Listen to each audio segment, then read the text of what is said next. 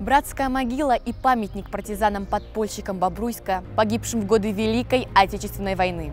Дислокация городской парк культуры и отдыха. Обелиск сделан из красного гранита в форме цилиндра.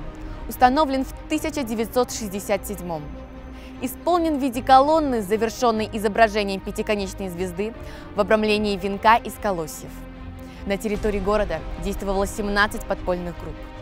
За это время они вывели из Бобруйска и окружающих населенных пунктов около 4 тысяч человек.